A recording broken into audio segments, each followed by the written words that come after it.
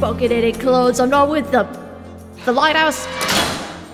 Ah, you bastards want to let a civilian vessel run aground be my guest.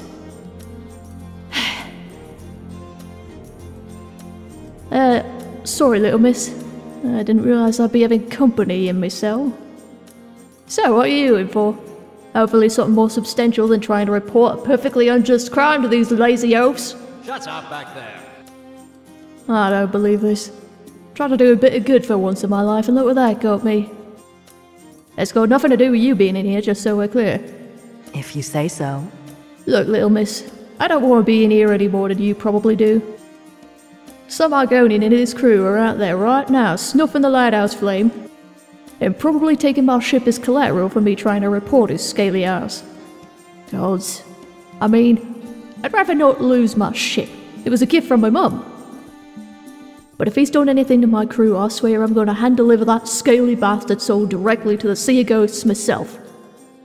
You don't get between me and my crew, savvy?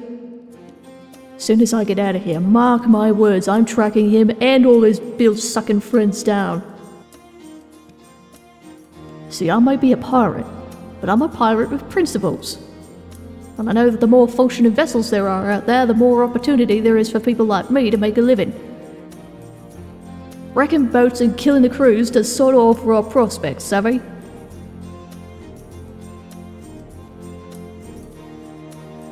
Right, where are me manners? Captain Atlug gra-Yazgash at your service. You can just call me Lug if you like. Suppose I should settle in for a bit. Get to know my new bunkmate. While we wait for this bungler to go off duty anyway. So, what say you, little miss?